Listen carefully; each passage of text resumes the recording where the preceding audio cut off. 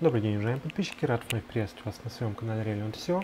Сегодня у нас на очереди последняя часть обзора проекта а, Ingercoin, и сегодня мы с вами поговорим непосредственно о white данного проекта. White paper – это так называемая белая бумага, техническая документация, в которой представлена вся информация по данному проекту, то есть что он из себя представляет, какая информация в нем и так далее. А чтобы перейти к white paper, вот здесь находите а, такую ссылочку white paper, есть еще light paper, это так называемый э, paper, в котором представлена сжатая информация по проекту. Обычно это одна-две страницы, где представлена вся основная информация по данному проекту. White paper же это максимально собранная информация по проекту, в котором представлено все развитие проекта, вся информация и так далее.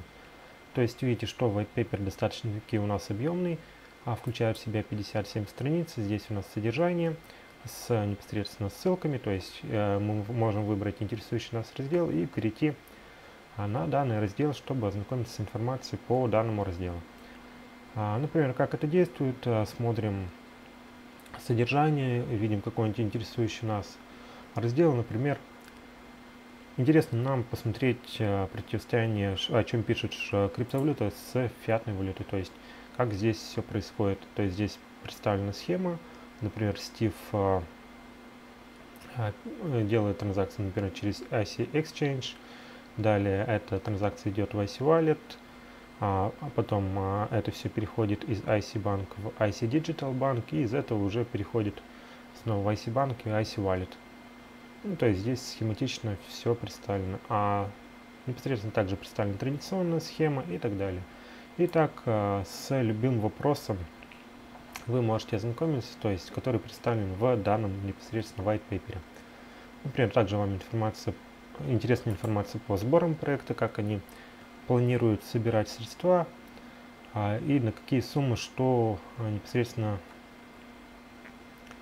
а, запускать. Например, вот здесь а, написано, что на что будут тратиться а, деньги при сборе hard cap а, то, то есть IC Accelerator Portal будет потрачено 3 миллиона долларов, IC Crypto Certifier 4 миллиона долларов, ну то есть и так далее.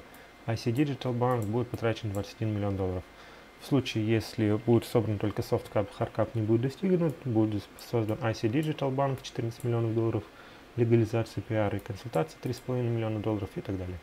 То есть так с каждым интересующим вас вопросом вы можете самостоятельно ознакомиться, посмотреть интересующую вас информацию через содержание.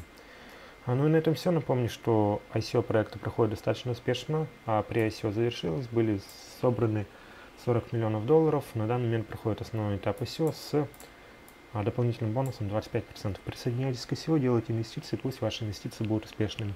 На этом все. Спасибо за внимание. Всего доброго и до новых встреч.